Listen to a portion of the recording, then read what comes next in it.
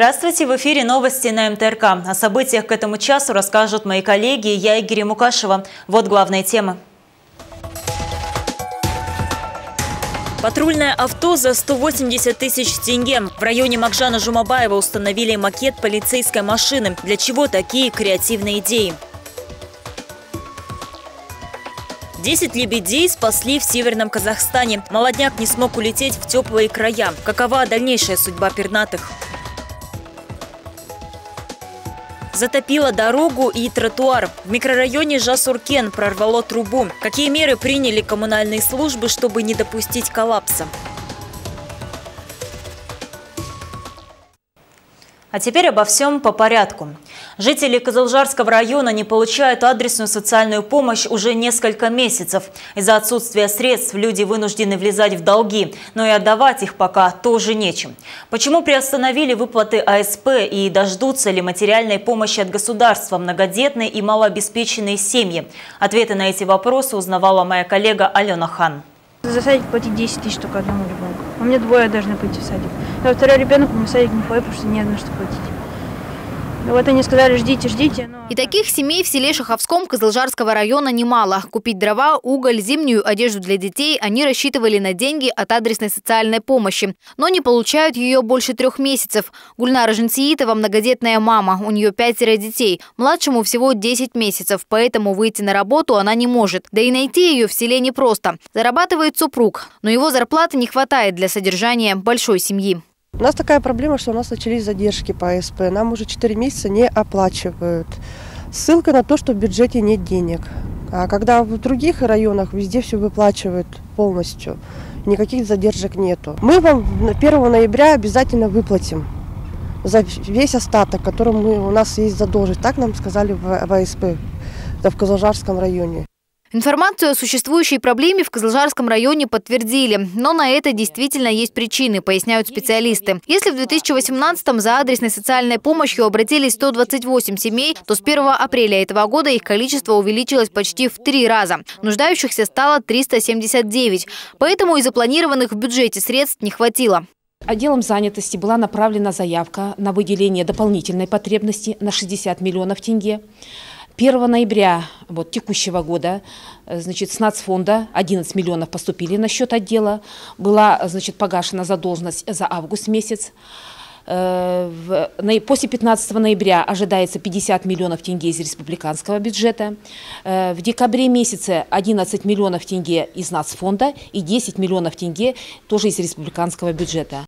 Тогда задолженность сразу погасят перед всеми получателями. Кстати, среди них были и те, кто скрывал свои доходы. По результатам проверок из почти 400 семей, действительно нуждающихся в адресной социальной помощи, только 263. Алена Хан, Казбек Арыкбаев, Новости МТРК. С юга на север с начала года в район Макжана Жумабаева из трудоизбыточных регионов страны переехали больше 60 семей. Здесь для них создали максимально комфортные условия, обеспечили жильем, работой, подъемными. О жизни на новой родине и возможностях наш следующий материал. Для многодетной семьи Камбаровых Северный регион стал вторым домом несколько месяцев назад. Собственного жилья в родном селе в Сарагашском районе Туркестанской области у них никогда не было. Чем больше появлялось детей, тем теснее становилась их съемная квартира, говорит Гульнара Камбарова. Женщина рассказывает, что всегда мечтала перебраться с семьей в частный дом. Мы приехали в Северный Казахстан 20 августа. Никогда не забуду этот день. Нас так тепло приняли. Страха переезда практически не было. Как и любые родители, мы думали о трудоустройстве и о детях. У нас их шестеро. Они ходят в школу, я работаю в детском саду. Муж планирует заниматься животноводством. Получили подъемные как положено. С АСП тоже проблем не возникло. Работать на себя хочет не только глава семейства Камбаровых, но и Гульнара. Она планирует открыть небольшой продуктовый магазин. Возможно, свою мечту осуществит уже в новом году. Если Камбаровы заранее планировали, что переедут из Туркестанской области в Североказахстанскую, то Бек Султан Сидказиев вместе с супругой приняли это решение спонтанно. Жители Арыси заселились в дом в селе Сулышок вчера утром. Говорят, что на родине их дети находились в постоянном страхе. Малыши вспоминали о взрывах, а еще начали болеть. Люди, которые переезжали из Арыси, рассказывали разное о своих новых домах, но я не привык верить слухам, все проверяю на личном опыте. Уезжая, мы понимали, что ничего не теряем, так как своего жилья на родине у нас не было. Мы жили в постоянном напряжении. Для родителей важно спокойствие детей и их здоровье. У нас их восемь, ждем девятого. После взрывов они плохо спали, постоянно боялись. В какой-то момент у младших появились высыпания на коже, которые не проходили. Мы приняли решение уехать и не жалеем. Будем строить жизнь в новом доме. По образованию я швея. Знаю, что без работы не останусь, поэтому страха переезжать не было. Я уверена, что здесь будет хорошо моим детям, а значит и мне. Начать новую жизнь семьям, которые приехали на север Казахстана из трудоизбыточных регионов страны, помогает не только государство, но и предприниматели. Они строят дома для переселенцев, берут к себе на работу. Они работают в нашем ТУА, да. У меня работает в основном в школе. Школу сохранения, в школе сейчас работает свыше 25 рабочих. В этом году как бы по программе построили 5 домов. С начала года в район Махжана Жумабаева с юга страны переехали больше 60 семей. Это свыше 200 человек. Для них построили 36 домов. В основном при, в эти дома заселяем э, многодетных, где 4, 3 э, и более детей. Для прибывших выплачивается субсидия на переезд на одного человека 80 в пределах 80 тысяч тенге. Также в 2019-м из Туркменистана, Китая и России в район Махжана Жумабаева переехали шесть семей оралманов. Дарья Пашмынцева, Жулызбек Ермуканов. Новости МТРК.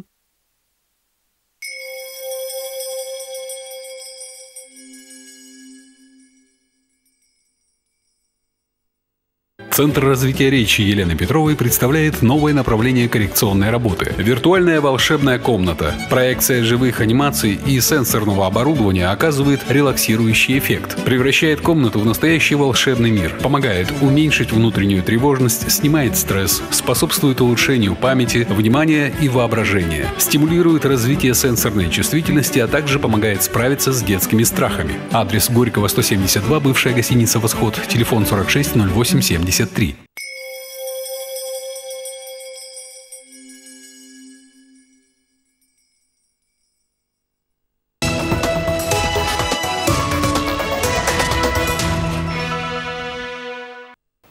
Вы смотрите новости на МТРК, и мы продолжаем наш выпуск. Нелепая смерть. В Есейском районе женщина погибла из-за лошади. Животное неожиданно выбежало на дорогу, по которой жертва ехала в автомобиле. За рулем сидел мужчина. От удара он пострадал, а вот его пассажирка через несколько дней от полученных травм скончалась в больнице. Трагедия произошла в темное время суток. Аналогичные случаи зафиксированы в Аиртауском и Акаинском районах. Полицейские призывают водителей соблюдать на дорогах скоростной режим, а владельцев скота лучше следить за животными. В местах установки знака перегон скота а, сбрасывать скорость и быть предельно внимательны. А, также хочу сказать, что все дорожно-транспортные происшествия с участием домашних животных произошли в ночное время.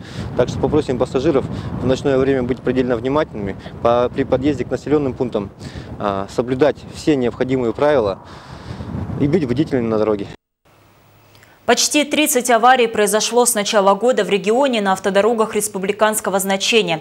Нередко они случаются из-за того, что водители игнорируют знаки с ограничением скорости, нетрезвыми садятся за руль или засыпают во время вождения. О безопасности теперь будут напоминать не только настоящие патрульные машины, но и их передвижные макеты. Первые установили в районе Макжана Жумабаева. Наша съемочная группа попыталась отличить муляж от оригинала. Издалека макеты полицейских машин выглядят как настоящие. Встретив ее на своем пути, водители инстинктивно сбрасывают скорость. Такое изобретение для Казахстана не новинка. Одни из первых муляжей патрульных машин появились на юге страны этим летом в Жамбылской и Алматинской областях. Полноразмерный с проблесковыми маячками. В нашей области макет полицейского авто появился на прошлой неделе. Его не случайно установили на 618-м километре автодороги республиканского значения Челябинск-Новосибирск. Движение здесь оживленное, и водителей лихачей, для которых понятие «безопасное вождение» применимо лишь в теории, всегда хватает. Здесь постоянно ранее были ДТП с тяжкими последствиями. А, так как здесь находится несколько заправочных станций, населенный пункт, пешеходы постоянно переходят, скот перегоняют. Стоит такой муляж 180 тысяч тенге. В противовес человеческой жизни вложение незначительное. Ночь, высокая скорость и музыка на полную громкость. Для многих автолюбителей темное время суток. Как говорят полицейские, время расслабиться и ненадолго забыть не только о проблемах, но и о правилах. О безопасности на дороге любителям прокатиться с ветерком теперь будет напоминать макет патрульной машины. Стражи порядка говорят, что такой муляж для водителей лишь помощник. Плановых рейдов и профилактических мероприятий никто не отменял. Макет патрульки, который видно и днем, и ночью, уже оценили североказахстанцы. Полезно для безопасности пешеходов и вот также водителей.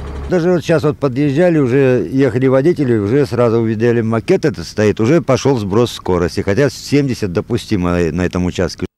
Тихо, а значит далеко, ехать можно будет не только на этом участке автодороги. Полицейские региона решают, где расположить следующие макеты патрулик. Их, кстати, можно переставлять.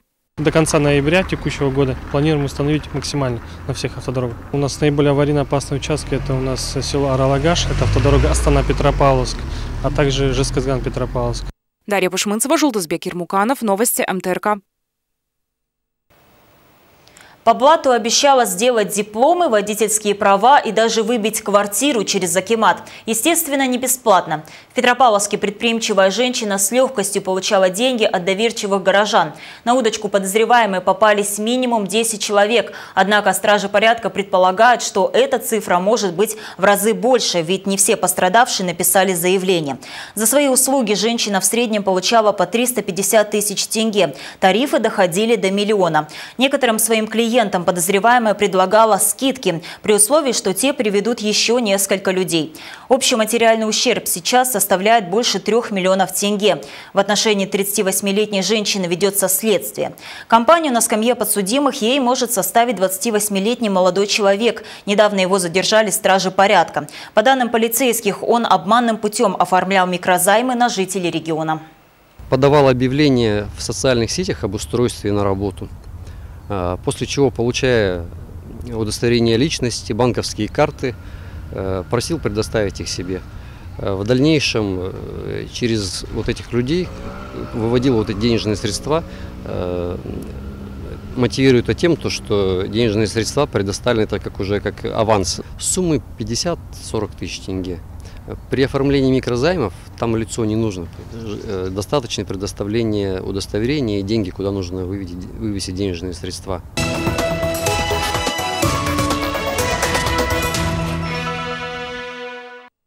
И к другим темам. 15 пожаров за неделю зарегистрировано в Северо-Казахстанской области. В огне погибли два человека, пятеро отравились угарным газом. Причина ЧП во всех случаях несоблюдения техники безопасности. Какие меры принимают спасатели, чтобы не допустить трагедии, расскажет Анжелика Сычева. Несмотря на меры огнеборцев, люди продолжают пренебрегать правилами безопасности. Статистика пожаров неутешительная. 11 ноября в селе Илинки сельского района произошел пожар в частном доме. На месте спасатели обнаружили тело 30-летнего мужчины. Еще один случай, но с менее плачевным исходом зарегистрирован в Петропавловске. Женщина с ребенком надышалась угарным газом. Обоих удалось спасти. Аналогичная ситуация произошла и в селе Бесколь Козлжарского района. Там пострадала мать с тремя детьми. Виновниками ЧП как правило, становятся сами жильцы частного сектора. Основными причинами, повлекшими гибель на пожарах, это явилось нарушение правил пожарной безопасности при эксплуатации бытового газового баллона. Также неосторожное обращение с огнем. Э, отравление угарным газом в жилом секторе без возникновения пожаров. Это неисправность печного отопления, где был э, забит сажей э, дымоход печи. Также в случае отравления угарного газа по причине преждевременного закрытия задвижки. Чтобы не допускать несчастных случаев, важна профилактическая работа, говорят спасатели. Именно на ней и делают акцент. Этой неделе мы по области установили порядка 20 датчиков угарного газа. Только за истекшую неделю совместно с местной полицейской службой, волонтерами, значит, местными исполнительными органами было проведено более 2000 адресных рейдов. В ходе Э, которых охвачено свыше 3000 человек. Распространено более 2500 памяток. С начала года по Северо-Казахстанской области установили 348 датчиков угарного газа. За это время по их сигналу удалось избежать двух несчастных случаев. Анжелика Сычева, Рустам Тлеужанов, Новости МТРК. Неожиданный потоп в Петропавловском микрорайоне Жасуркен рядом с 40 школой после полудня прорвало трубу. Двор учебного заведения за считанные минуты наполнился водой, как и прилегающая к нему территория. На улице мороз и ходить по ледяной воде опасно. Жители переживали, что это место быстро превратится в огромный каток. Но в течение 15 минут ремонтная бригада перекрыла воду. Огромную лужу откачали. На данном участке ведут работы специалисты товарищества «Козылжар-Су». Им предстоит предстоит устранить неполадки. По словам администрации школы, учебному процессу происшествие никак не помешало, занятия проходили в привычном режиме. Произошло повреждение на водоводе э, по улице Парковой э, на трубе диаметром 500. Э, предположительно, сейчас уже сейчас устанавливаем разрыв шва. Без воды у нас 4 двухэтажных дома и школа сама, естественно. На сегодня, сегодня работу мы будем продолжать до окончания пока не дадим воду. Подвоз воды мы организовали всем. Не окрепли и не смогли улететь. Многие петропавловцы обеспокоены судьбой лебедей и просят их спасти. Об этом они написали в социальных сетях. На одном из водоемов Возле города обитают больше десяти пернатых. У молодняка не хватило сил перебраться в теплые края. Сегодня сотрудники ДЧС и территориальной инспекции лесного хозяйства и животного мира провели спасательную операцию. Свой небольшой вклад внесла и съемочная группа МТРК. Сильные и могучие лебеди преодолевают тысячи километров, когда летят с севера на юг и обратно. Размах крыльев достигает почти трех метров, но это взрослые особи, а вот молодняк очень уязвим. Вот и полугодовалые детеныши, сородичи которых улетели на юг, остались в холодном северном Казахстане. Еще серых и беззащитных многие петропавловцы могли видеть, когда ехали в сторону аэропорта. Кто-то просил их спасти, а кто-то говорил, что природа знает как лучше. Нужно спасать и отловить, и в ботанический сад. Погибнуть жалко. Это называется естественный отбор. Ай-яй-яй, надо же быстрее их спасать. Жалко будет, если таких красивых птиц или люди не люди угробят, или животные. На помощь пернатым пришли сотрудники ДЧС и территориальной инспекции лесного хозяйства и животного мира. Развернули спасательную операцию. Дальше белый и двое с ним небольших. После КВЖ проверь сюда, проверь. Медлить нельзя, лед крепнет, а значит скоро шипуны станут легкой добычей для голодных лисиц. Они сейчас для лебедей опасность номер один. Холод сильной птицы нипочем. Вытащили, спасли и обогрели. Красивые и грациозные в безопасности, но следующей осенью на их месте окажутся другие. Лебедей в нашем регионе спасают каждый год. На всей области следим за состоянием водоемов, за наличием птиц. Ежегодно э, отлавливается порядка 15, рекорд был порядка 30 лебедей. В году, наверное, в 2012. Ну, конечно, птица дикая, они очень активные, бегают, ну, мы быстрее немножко. Сегодня спасли десятерых, но четверо их собратьев остались на водоеме. Из-за тонкого льда людям туда не подобраться. За ними придут позже, обещают спасатели. А тех, что вытащили сегодня, выпускают на волю. Прямо сейчас мы отпустим вот этого красавца в теплый канал. Здесь он вырастет, окрепнет и уже следующей осенью сможет улететь на юг. От нас лебеди далеко не улетают, добираются до берегов Каспийского и Аральского морей. Эти пока перезимуют здесь, не хуже, чем в теплых краях. Вода в этом канале не замерзает даже в самые суровые морозы. Айгири Мукашева, Жолдасбекир Муканов, Новости МТРК.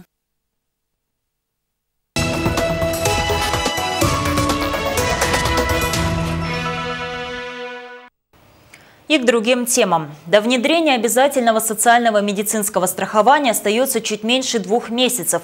Чтобы понять все плюсы и минусы реформы, ее активно обсуждают во всех областях страны. Не исключение и Северо-Казахстанская. В Петропавловске сейчас работает независимый столичный эксперт. Своим мнением о предстоящих изменениях он поделился с медицинской общественностью региона. В зале детской областной больницы работники медицинской сферы региона. В областной центр приехали врачи и медперсонал из районных больниц. Столичный независимый эксперт Марат Мамаев рассказывает, новая система, точнее ее внедрение, вопрос не одного дня. В нашей стране ее разрабатывали несколько лет, основываясь на международный опыт. По словам специалиста, с внедрением ОСМС в первую очередь увеличится финансирование системы здравоохранения. Подход к распределению бюджетных средств станет другим. Идет большая диспропорция э, между регионами. Например, эм, простой пример, когда э, в одной области для одного онкологического больного тратится 19 тысяч тенге, а в, другом, э, в другой области тратится 45 тысяч тенге. То есть идет большая диспропорция расходов на население. Вот это был вот таким вот явным сигналом для того, чтобы уже начать побыстрее э, процесс централизации финансирования. В первую очередь улучшится доступность и качество медицинских услуг. У врачей общей практики, к примеру, появится больше времени на каждого больного, снизится нагрузка, а пациенты, в свою очередь, будут получать качественную своевременную медицинскую помощь. Это увеличение объема финансирования в здравоохранении, это увеличение услуг, повышение квалификации медицинских работников, то есть а, пациент не будет затрачивать столько денег, сколько сейчас на частные клиники, то есть это будет отплачиваться уже, если он является участником ОСМС, с фонда обязательного медицинского страхования. С внедрением ОСМС с нового года казахстанцы будут ежемесячно перечислять по одному проценту от своей заработной платы. Еще 2% обязан отправлять работодатель за своих сотрудников. Мое мнение, медицинское страхование – это очень полезно для каждого гражданина Республики Казахстан, э, потому что каждый гражданин э, сможет пользоваться этой услугой. Эта услуга очень удобна. ОСМС – это расширенный пакет медицинских услуг для застрахованных казахстанцев, дорогостоящие анализы, обследования, операции. Все это станет доступным. А 15 категорий граждан, среди которых социально уязвимые слои населения, дети и пенсионеры, будут получать услуги за счет бюджета. Агири Муканова, Казбек Арыкбаев, Новости МТРК. Работать слаженно и сообща. Такую цель ставят перед собой активисты волонтерского движения Казахстана. В рамках проекта «Волонтерский корпус» в каждом регионе страны открыты координационные центры. В Петропавловске он действует с сентября. За это время инициативная группа ребят провела десятки встреч, конкурсов и челленджей. Успешными идеями и проектами представители клуба поделились с нашей съемочной группой. Отзывчивые и бескорыстные. В нашей стране 287 волонтерских клубов, которые объединяют 50 тысяч активистов. Они организовывают сбор средств на лечение детей, помогают пострадавшим при пожаре или наводнении, поддерживают пожилых людей и всех нуждающихся. К примеру, в клубе 28 петель, кстати, он один из самых многочисленных в Казахстане, вяжут одежду для недоношенных малышей. На сегодняшний день уже изготовлено 134 тысячи комплектов э, и вовлечено в этот проект 1926 волонтеров. Активные североказахстанские волонтеры. Гордость регионального клуба «Поисковый отряд». Чтобы найти пропавшего человека, на улице выходит около полутысячи неравнодушных земляков. Самой старшей участнице отряда 72 года. Помогают инициативные и активные североказахстанцы и бездомным животным, а еще людям из социально уязвимых слоев населения, ветеранам войны и труженикам тыла. Волонтеры есть в каждом районе области, но им не хватает сплоченности, говорит руководитель клуба Лилия Гизатулина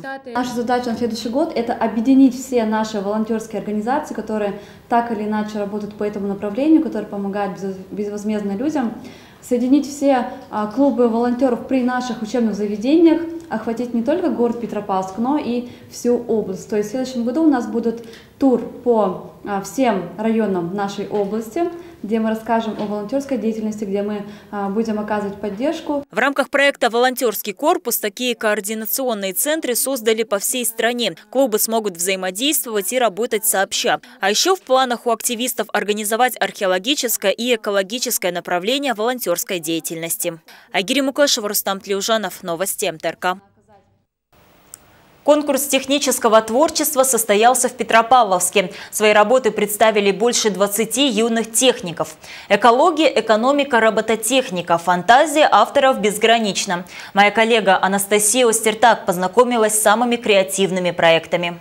Целых 40 квадратных метров масса рассчитана на 2 тонны 200 килограмм. Ердос Утигенов на конкурс пришел с необычной идеей – «Дом на плаву». Над проектом работал около полугода. Говорит, в этом ему помогали наставники. Учится он в Петропавловском строительно-экономическом колледже на третьем курсе. Газ, вода, электричество. Маленький домик будет оснащен всем необходимым. Самое главное, проект безупречен с экологической точки зрения. Автор предусмотрел все. Устанавливается Э, специальный э, отдельный э, выдвижной ящик, который туда септик э, сбрасываются отходы, он не вредит природе, э, то есть все от пищевые отходы уходят. Пост, ну, по прибытии на берег они утилизируются. И... Мирея Мирбек из Козлжарского района. Говорит, узнав о конкурсе, сразу начал готовиться. Идей в голове было много, делится конкурсант, но остановился на одной. Задумался о проблеме дефицита питьевой воды в отдаленных селах. Он считает, что его проект сможет изменить положение дел. Подведение воды и электричества требует больших затрат. Мой проект будет очень полезным для нашей страны с точки зрения экономики. Добывать воду при этом можно методом нефтекачалки. Питание при этом идет за счет солнечных батарей и ветряного генератора. Вода будет собираться в башне и затем распространяться дальше. Конкурс научных проектов в Петропавловске проходит ежегодно. В этот раз участники представили более 20 работ. Строительство торговых центров, современных спортивных залов, материалов, робототехника. Все они разные и не похожи друг на друга. Дает ученикам возможность технического развития, возможность проследить а, цели, скажем так, и а, общую концепцию развития технического образования и куда движется. Проекты, скажем так, на, есть довольно интересные проекты на хорошем таком уровне, которые запоминаются. Жюри оценивало проекты по нескольким номинациям, учитывали эффективность идей, новизну и актуальность. Первые места за оригинальность получили оба героя нашего сюжета – Ирдос Утигенов и Мирия Мирбек. Анастасия Стертак, Михаил Казначеев, Новости МТРК привел команду к титулу и стал лучшим. Наставника футбольного клуба «Кызылжар» Али Алиева признали тренером сезона. На торжественной церемонии, которая прошла в столице, его наградила Казахстанская федерация футбола. Он стал победителем в номинации «Лучший тренер первой лиги». Отмечу, под руководством Али Алиева «Орлы» стали чемпионами и одержали 17 побед при двух поражениях. Еще семь раз петропавловцы сыграли в ничью. В следующем сезоне они будут бороться за награды в высшем дивизионе. На этом все. Смотрите МТРК, будьте всегда в курсе событий. До свидания.